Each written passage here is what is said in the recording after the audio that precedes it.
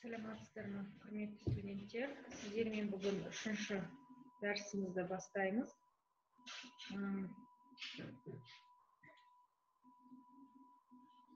Жылумен қамту жүйелері сіздерге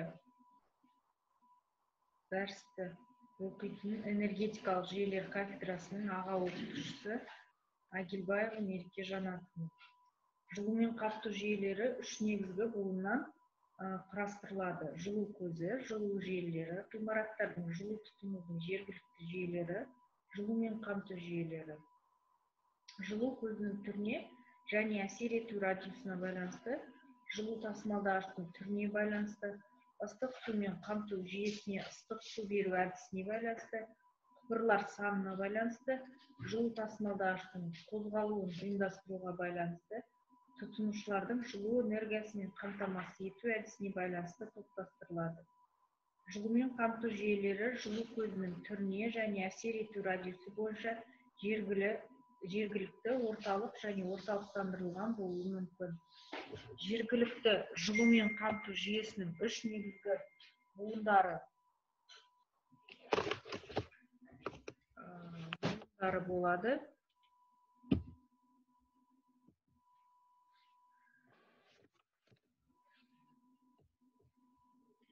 Азаматтық ғимаратта бірігіп бірігіп бір орында немесе өндірістік ғимаратта көмекші алаңдарында қарастырылады мұндай жүйе ретінде электр немесе газ пештері арқылы жылытылатын жүйелері мысал бола алады.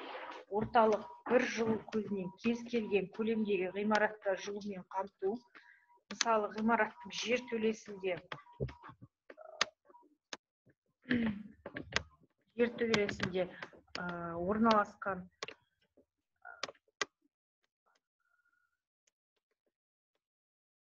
Орналасқан немесе жеке тұрған қазандықта орнатылған қазаннан жылу алатын жылу жүйесі орталықтандырылған бір жылу көзіне жылу электр орталығынан немесе аудан қазандықтарынан бірнеше ғимараттарға жылу беріледі.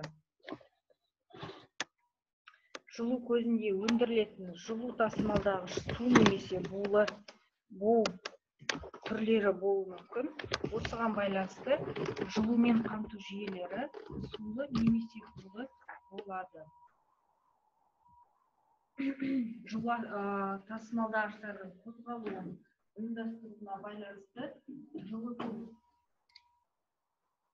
жылумен қамту жүйелері тұйық жартылай тұйық және тұйықталмаған болуы мүмкін. Тұйық жерлерде тұтынушы тасымалдағыштың жылуын жартылай ғана пайдаланады ал жиырма тасымалдағыш өзі жылуынан қалған мөлшерін жылу көзіне кері қайтады. Онда ол қайтадан жылумен толығады. Екі құбырлы жабық жүйелер тұйық сулы жүйелер жабық жылумен қамтуға қарайды. Ал тұйықталмағандар ашық жүйелеріне жатады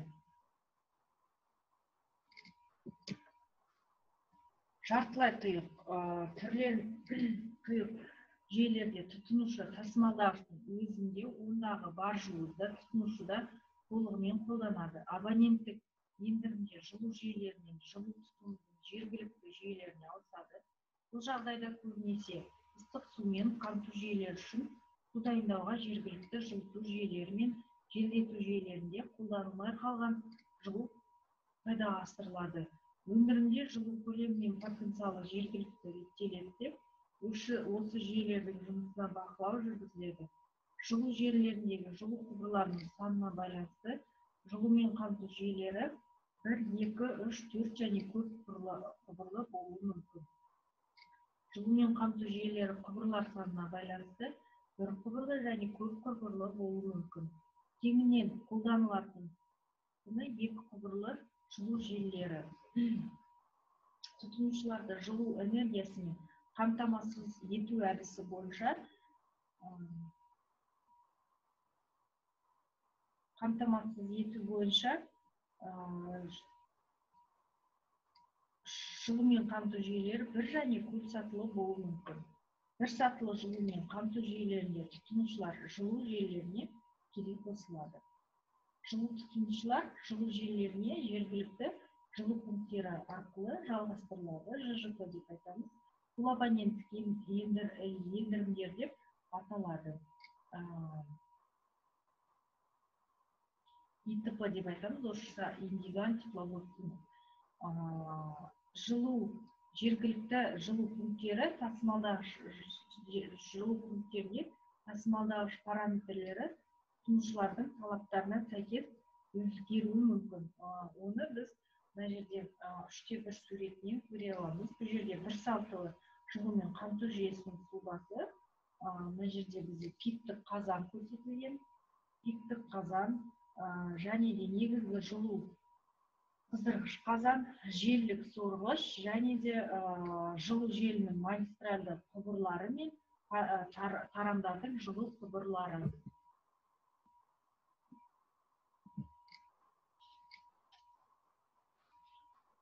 Көп сатылы жылумен қамту жүйелерінде тұтынушылардың жылу көздерінің арасында орталық жылу пункттері немесе бақылау тарату пункттері орналастырылады. Оларда тасымалдағыш параметрлері жыл тасымалдағыш параметрлері жергілікті жылу пункттерінің талаптарына сәйкес өзгеруі мүмкін. Мына алдымызда келтіріліп отырған ол екі сатылы жылумен қайту қамту жүйесінің сұлбасы бұл жерде орталықта жылу пункті бар және де ғимараттардың жылыту жүйелеріне беретін және қайтатын құбырлары ғимараттардың желдету жүйелеріне беретін және қайтатын құбырлары бар жаңағындай бір сатылы жылумен қамту жүйесінің сұлбасындай бұл жерде пиктік қазан негізгі жылу қыздырғыштар әрине желілік сорғыш бар. Сулы жылумен қамту жүйелерінің тиімділігі сыртқы жылу желілерінен жылы жылжуында жергілікті тұтынушылар арасындағы байланыс буыны болып табылатын сулы жылу желілеріне тұтынушыларды жалғастыру сұлбасымен анықталады. Жылуды жылу желілеріне жергілікті жылу тұтынушыға өтуі потенциалының төмендеуімен немесе төмендеусіз болады сулы желілерді жылу потенциалының төмендеуінсіз тікелей желдету жүйесінің калориферлері мен өндірістік орындардың жылыту жүйелері қосылады. Оларда қыздырғыш құралдарға судың жоғары температурасы жіберіледі. Жылу желілеріне норма бойынша жылу потенциалының төмендеуімен көптеген жылыту жүйелері және ыстық сумен қамту абоненттері қосылады. Жылу желісіндегі судың максималды температурасы 150 градуске тең бірақ кейбір жағдайларда ол 180-190 градуске дейін жетуі мүмкін. Жылыту жүйелеріндегі судың максималды температурасы сниг бойынша санитарлы гигиеналық талаптар бойынша ол 95-105 градустен ыстық сумен қамту жүйелерінде 75 градустен бастауы тиіс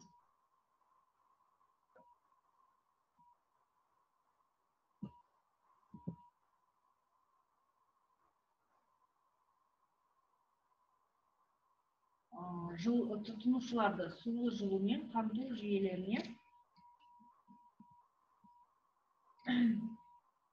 қосу.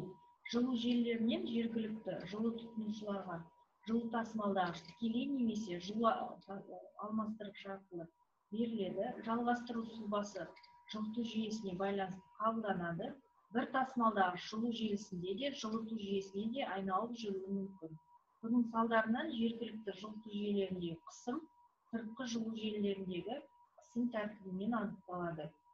Тәуелсіз қосу сызбаларында жылу желісіне жылу жергілікті жылыту жүйесінің жылу алмастырғыштарына келіп түседі.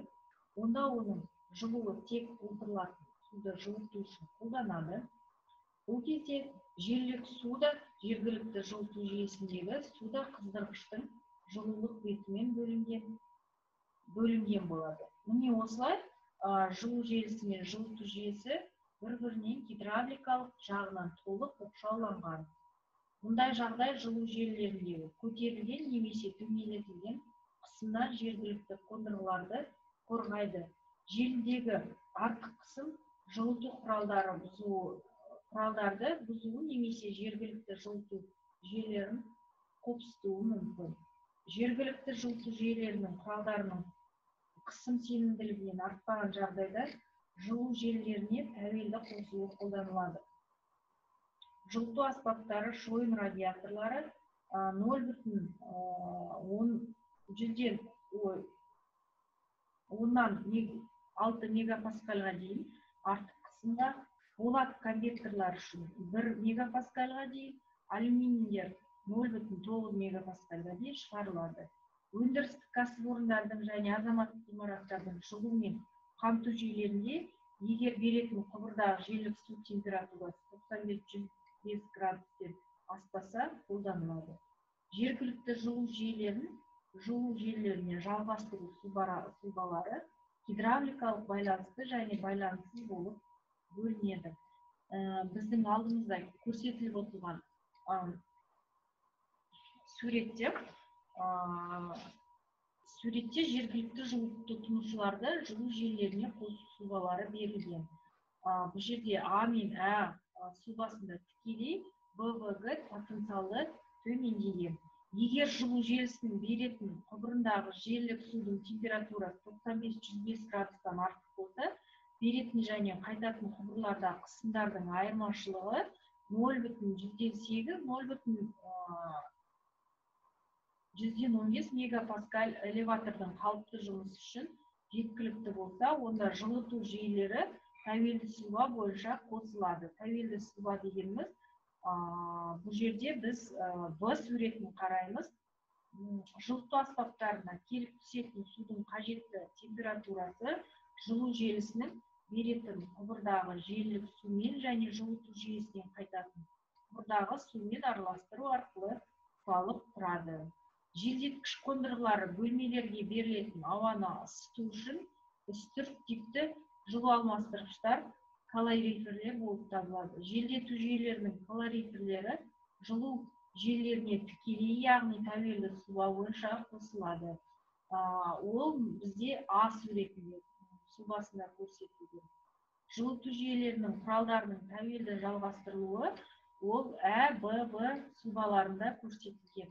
Жылыту жүйелерінің құралдарында желілік судың температурасының өзгеруін тиімді пайдалану пайдаланудың мағынасы өте зор. Өйткені оның арқасында біз ендірімде жылу шығынының азайтылуын және құбыр диаметрінің кішірейту есебінен жылу желілерінің құны төмендеуі мүмкін. Абоненттік ендірімде жергілікті қондырғыларды тәуелді жалғастыру кезінде ең жай және арзан жабдықтарды қолданады.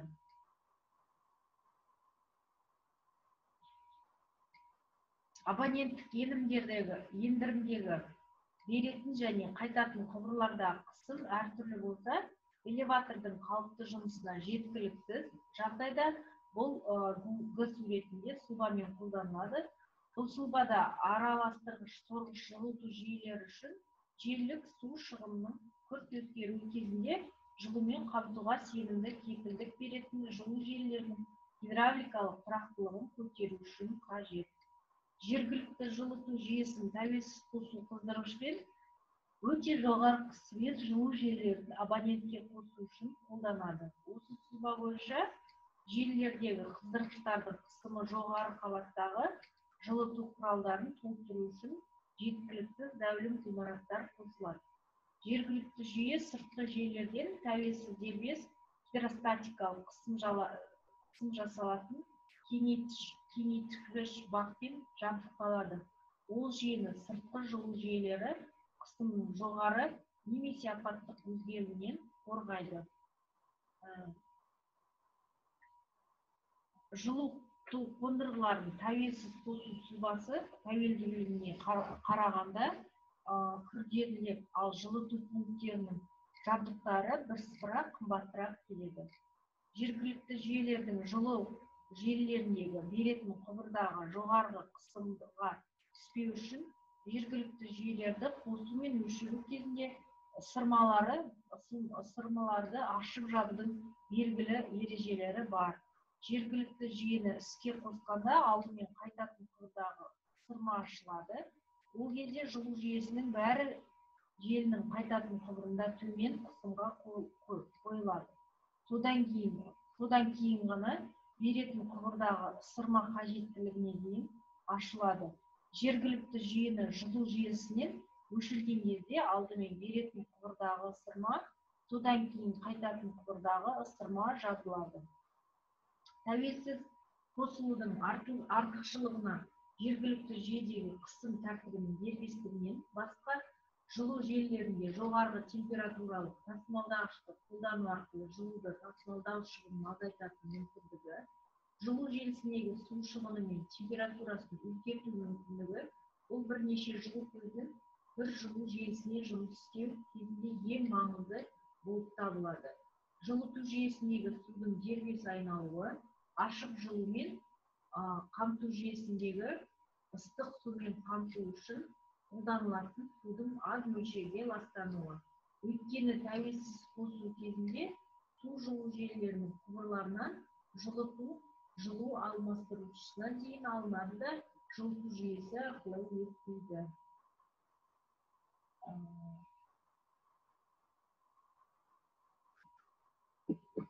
сулы жылумен қамту жүйелері. Сулы жылумен қамту жүйелерінде ыстық сумен қамту жүйесіне ыстық су беру әдісі бойынша ашық және жабық болып бөлінеді екен. Жабық жылумен қамту жүйесі дегеніміз ол ыстық сумен қамту су қыздырғыштар арқылы дайындалады.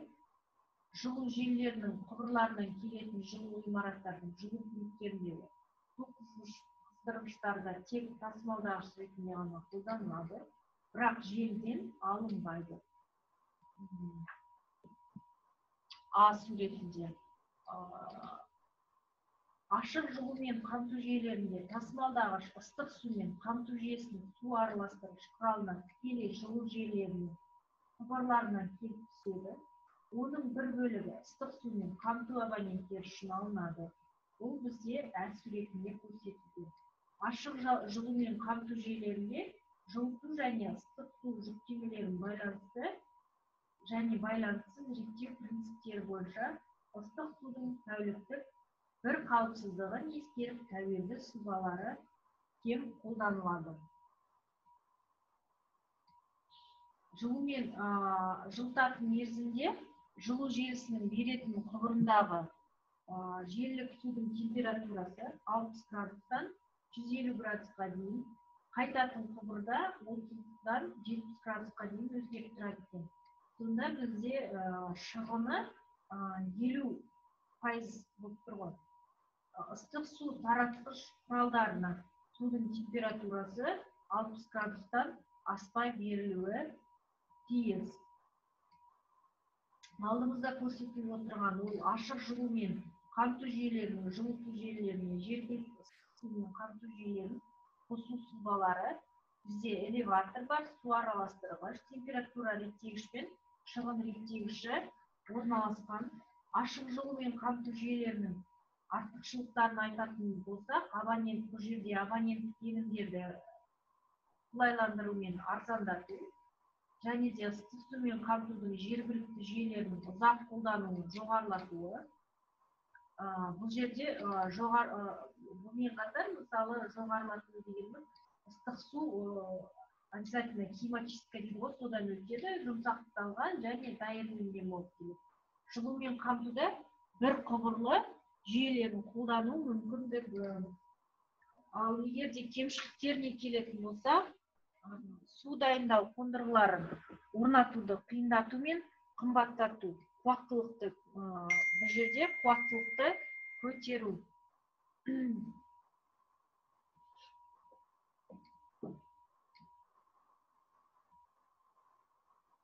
Ыстық су тұтыну бір қалыпты болмауы жылу желілерінің гидравликалық тәртіптерінің тұрақсыздығы пайдалануды қиындату.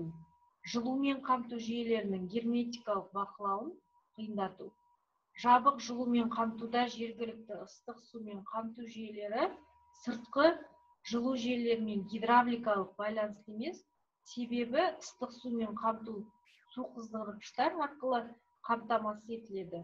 Су қыздырғыштарда су құбырынан келетін температурасы 5 градус суық су жылу желісінен алынатын жылу мен ыстық су жүйесіне қажетті температура 60 градусқа дейін қыздырылады. Жылу желілерінде су қыздырғыштарды қосу әртүрлі болады. Оның қосу сұлбасы ыстық сумен қамтуға және жылытуға максималды жылу ағымдарының қатынасына байланысты анықталады. Егер жылу қатынасы нөл бүтін екіден су құбырының келетін температурасының температуралар айырымының көп болса бірден төмен болса бір сатылы параллельді ал екіден көп болып бірден аз болса екі сатылы сұлбалары қолданылады. Бұл сұлбаларды ыстық сумен қамтуға су қыздырғыштар арқылы өтетін желілік су шығыны температура реттегіш пен ыстық су жүктемесіне сәйкес жылыту жүктемесіне байланыссыз реттеліп беріледі. Мына жерде үшінші сұлбада ыстық су қыздырғыштары екі сатылы аралас қосылған. Мұнда жылыту жүйесінің және су қыздырғыштың бірінші сатысынан кейін қайтатын тасымалдағыштар ыстық сумен қамту жүйесіне беретін суды алдын ала ысыту үшін су қыздырғыштардың екінші сатысына келеді. Содан кейін ол су қыздырғыштың бірінші сатысында жылу желісінің беретін құбырынан келетін жылумен толық қыздырылады. Бұл сұлбада су қыздырғыштың екінші сатысына келетін аралас тасымалдағыштың температурасы жоғарғы болады. Тізбекті тізбекті сұлбаға қарағанда температурасы жоғары болады.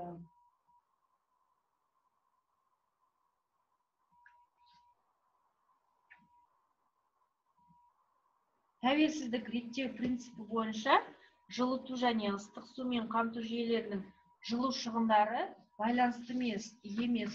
Ол үшін шығын реттегіш және температура реттегіштерді орнатып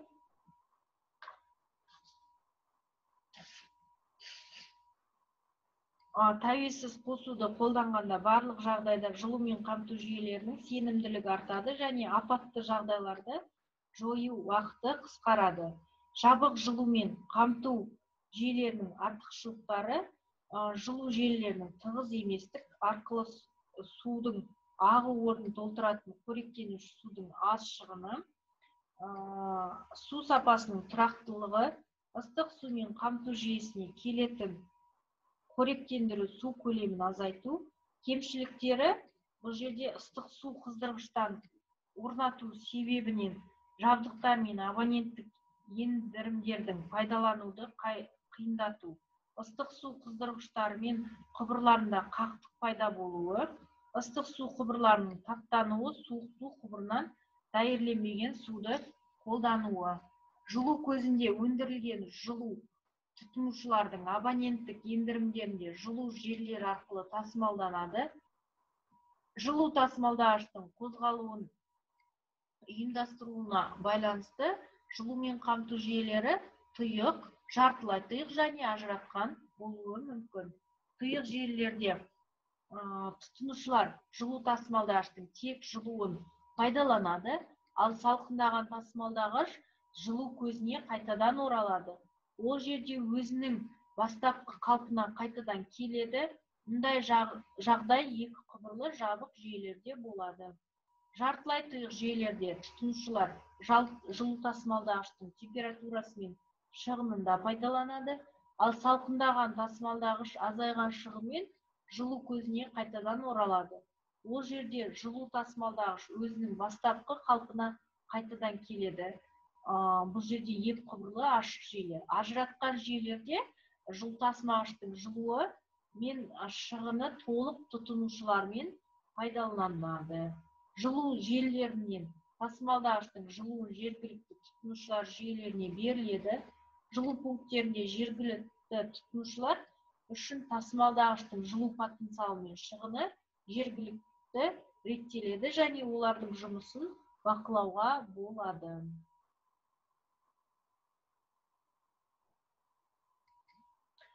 Жылу желілерінің құбырларының санына байланысты сулы жылумен қамту жүйелері бір құбырлы екі құбырлы үш құбырлы төрт құбырлы және аралас болуы мүмкін. Осы жүйелердің принципиалды сызбалары біздің алдымызда келтірілген. Тұйық сұлу сулы жүйелер жабық жылумен қамту жүйелерінде ал ажыратқан жабық жылумен қамту жүйелерінде қарастырылады. Жылумен қамту жүйелерінің магистральдық жылу жүйелерінің беретін құбырындағы судың температурасы 150 градус. Оның жоғарылатуға да болады. Ол жоғарылатудың максималды температурасы 180 градус.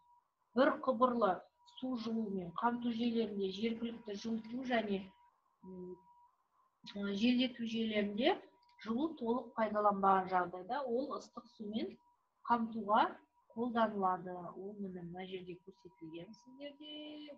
А суреті мен в суретінде. Екі құбырлы сулы ашық жылумен қамту жүйелерінде тасымалдағыштың жылу потенциалы пайдаланады. Жылу желілерінен тек ыстық сумен қамтуға алынады. Ол мына жерде бізде суреті